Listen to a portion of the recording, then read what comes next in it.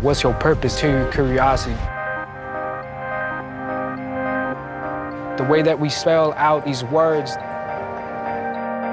what does it mean to be an artist? I still understand that the time flows and so must I. Speak what's true, speak what you need to. These canvases, these pronouns and places. This is me, presenting you with Northwest Arkansas's community.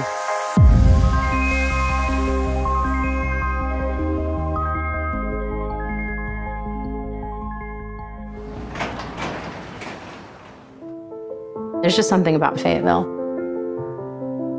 I think it's probably the community of people here. My name is Bernice Hembree. I play with Smokey and the Mirror. I play in that band with my husband, Bryan Hembree. We together co-founded the Fayetteville Roots Festival. My name's Jason Paul, and I'm the chef and owner of a restaurant called Heirloom at the 1907 downtown Rogers. I'm also a culinary instructor over at Brightwater, a Center for the Study of Food in downtown Bentonville.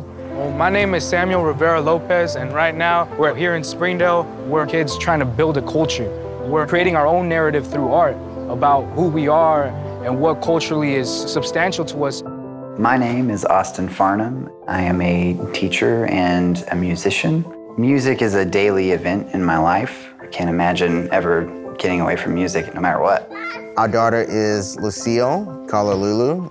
She loves hard and she plays hard, diving off of things and exploring and her sense of curiosity, creativity. It's really special. Northwest Arkansas is an amazing place to live as an artist because when you're exerting all of this artistic energy on a regular basis, you have to be refilled. You know, you, you need to have that place where you can go and say, okay, I'm not doing my art tonight. I'm experiencing art tonight.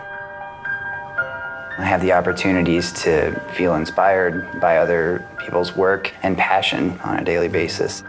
There are so many passionate people in this area that can thrive doing what they love. How does that work? We're still trying to figure that out ourselves. Like, how is this working? But it does work in a beautiful way. Part of it, I think, is just the magic of, of having the community who supports it. And how is that created? I have no idea. I think you just create something that people are appreciating and want more of it, and so they continue to support it. I come to this place a lot. It feels free and open. That's what I like about it. I can come out and take in the beauty of where I'm at and really appreciate, you know, the wonders that are around me. The Fayetteville Roots Festival, it brought out the community in a way we didn't realize they would come out and support. And we've had people say, hey, this is one of our favorite events of the year, and this is what makes us love living here. We have the opportunities to engage and feel inspired by other people's work and passion on a daily basis. That's a really unique thing to have anywhere, let alone in Arkansas. Sean and I are both city people. Really, the entirety of our adult lives have always lived in cities. The diversity in thought process, it really has surprised us here. It's exciting to think about what we can do together just from the energy of deciding that normal is not quite good enough. Art is pushing things forward. Northwest Arkansas more and more is becoming an art forward thinking place where people that tour all over call this their home because it's a special place. Artists are drawn to the Ozarks and the community is supporting them. It just continues to blossom.